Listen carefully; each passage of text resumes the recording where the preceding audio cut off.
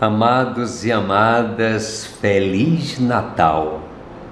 Eu agradeço de coração a sua abertura, a sua proximidade em me permitir entrar na sua casa e conversar um pouquinho, celebrando o Natal do Senhor. No nosso último encontro, nós falamos da promessa de Deus que uma virgem daria à luz um filho e ele teria o nome de Emanuel, pois esta virgem é Maria.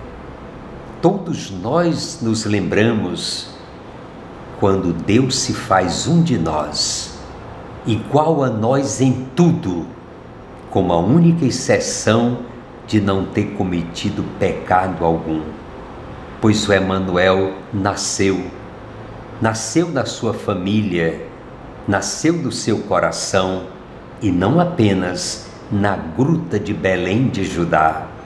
É bonito de vermos, por exemplo, o que diz a carta de Paulo aos Gálatas, quando chegou a plenitude dos tempos, quando as eras amadureceram, Deus não mandou mais ninguém ele mesmo veio e ele se tornou um de nós, armando a sua tenda entre as nossas tendas.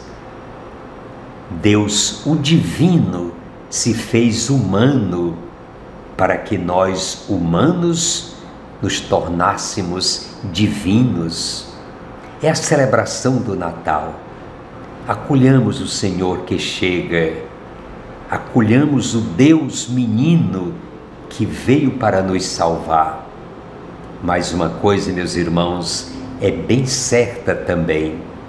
Nós não acolhemos Jesus se não acolhemos os pobres, se não acolhemos na simplicidade aqueles que precisam de nós. Que a sua casa, que a sua família esteja iluminada pela estrela de Belém, que os presentes trocados sejam sinais de afeto, de amor, de proximidade, que a nossa ceia natalina seja de aconchego, de amor, de zelo familiar. Vamos acolher o menino que vem nesta noite tão bonita e tão santa e que a partir de amanhã, quem sabe, sejamos pessoas renovadas, pessoas novas em Cristo Jesus que nasceu em Belém. Acolham o meu abraço fraterno, os meus cumprimentos de um feliz Natal. Que Jesus nasça no seu coração e no aconchego da sua linda família muito obrigado.